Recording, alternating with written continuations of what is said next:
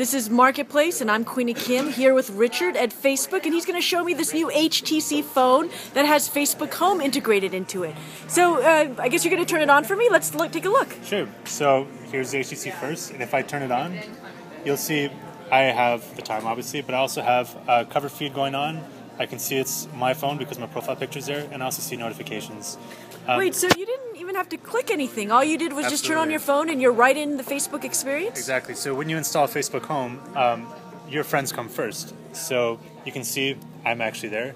Um, I can see stuff that my friends have shared or liked. So you can see some status updates uh, with their cover photo in the background.